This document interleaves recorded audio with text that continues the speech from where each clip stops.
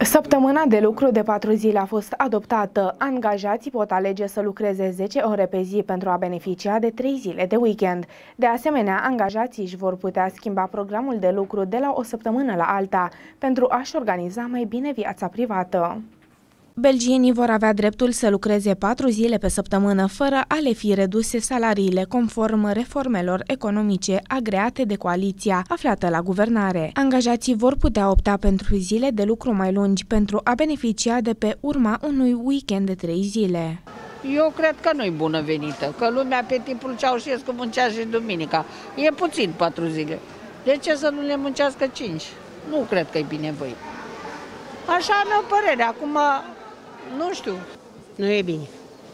Nu e bine să facă, să muncească toată săptămâna ca să ia banul. Belgienii vor putea alege să lucreze 10 ore pe zi în loc de 8 ore. De asemenea, angajații își vor putea schimba programul de lucru de la o săptămână la alta pentru a-și organiza mai bine viața privată. Ar fi bine să se introducă și Ar fi bine, ar fi bine, dar nu cred că la noi e ca la nimeni.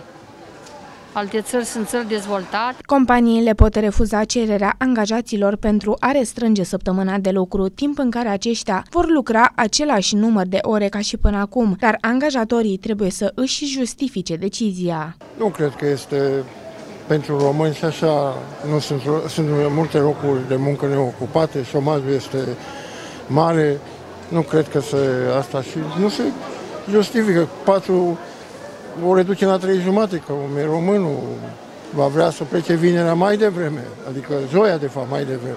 Nu. Și așa noi suntem în urmă cu toată uh, productivitatea muncii, nu dăm randament la cele cinci zile care le avem. Nu sunt de acord.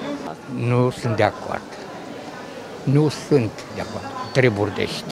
Săptămâna de lucru de patru zile a mai fost testată în Islanda între 2015 și 2019 și a devenit între timp modelul preferat de 85% din populația activă a țării. Scoția a început să testeze acest model de lucru luna trecută și a pus la dispoziția companiilor participante un fond de 10 milioane de lire.